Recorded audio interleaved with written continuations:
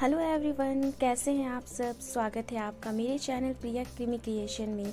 आज मैं एक नई रेसिपी लेकर के आई हूँ, जिसका नाम है वेनिला आइसक्रीम जो मैं बहुत ही कम इंग्रेडिएंट के साथ बनाई हूँ, और ये बहुत ही सॉफ्ट एंड क्रीमी बनता है, और इसे बनाना बहुत ही सिंपल है। ये आइसक्रीम मार्केट के आइसक्रीम से ज़्यादा अच्छा बनता है, और खाने में भी बहुत टेस्टी लगता है। तो चलिए हम बिना देरी किए इसे बनाना स्टार्ट करते हैं। एक बर्तन लेंगे, जिसमें हाफ़ कप हम दूध डालेंगे। और इस हाफ़ कप मिल्क को एक बॉल में डालेंगे।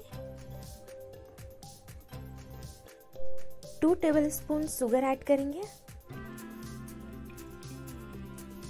हाफ़ टेबल स्पून कॉर्नफ्लावर, उसे भी ऐड करेंगे। अच्छी तरह से हम मिक्स करेंगे, जिससे इसमें लम्स ना रहे। हाफ़ कप दूध मैंने जो बर्तन में रखा था, उसे हम गैस में चढ़ाएँगे?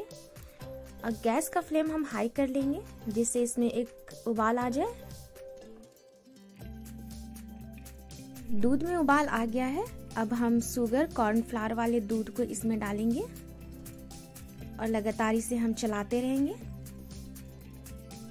इस आइसक्रीम का टेस्ट और अच्छा बनाने के लिए हम इसमें two tablespoon milk powder डाल सकते हैं बट मैंने इसमें मिल्क पाउडर नहीं ऐड किया है।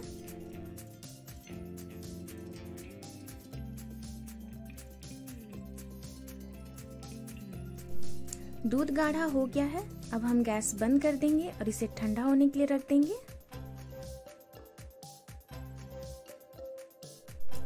आप देख सकते हैं, दूध ठंडा हो गया है। अब हम आगे का प्रोसेस करते हैं। हम एक बड़ा बॉल लेंगे। इसमें एक कप व्हीपिंग क्रीम डालेंगे। इस व्हीप क्रीम को हम इस इलेक्ट्रिक बीटर से बीट कर लेंगे। हम तीन से चार मिनट के लिए अच्छी तरह से इसे बीट करेंगे।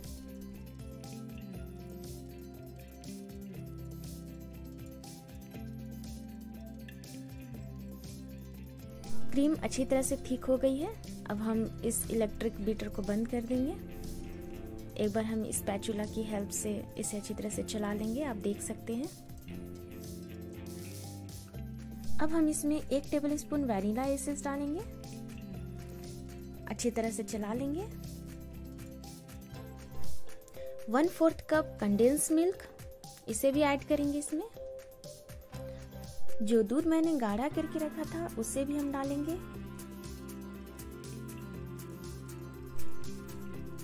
इलेक्ट्रिक बीटर से हम सभी को अच्छी तरह से मिक्स कर लेंगे।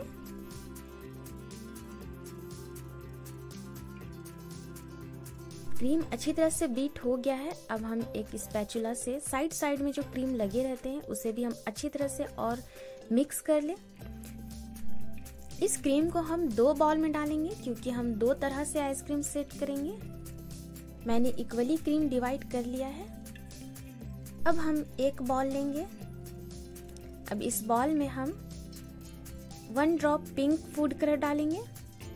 आप चाहे तो जेल कलर या ड्राई कलर भी यूज़ कर सकते हैं। मैं इसे बस हल्के हाथों से मिक्स कर रही हूँ। आप चाहे तो इसे पूरी तरह से भी मिक्स कर सकते हैं। इस क्रीम को हम बॉक्स में डालेंगे। मेरे पास ऐसा प्लास्टिक का बॉक्स है। आप चाहे तो और भी दूसरे बॉक्स में डाल सकते हैं।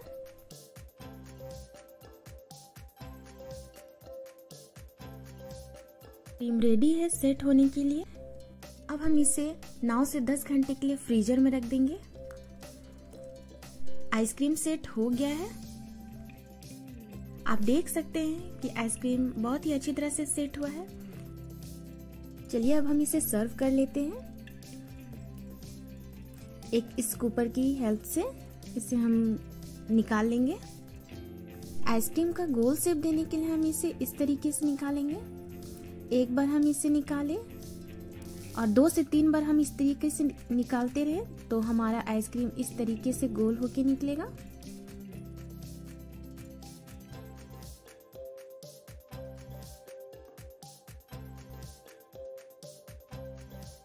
टूटी फ्रूटी से अपने आइसक्रीम को सजाएँगे। आप चाहे तो बादाम या पिस्ता बादाम से भी इसे सजा सकते हैं। आप देख सकते हैं, आइसक्रीम कितना सॉफ्ट एंड क्रीमी दिख रहा है। मैं दो तरह से आइसक्रीम सेट की थी। आप देख सकते हैं, मैंने इस तरीके से भी बनाया था।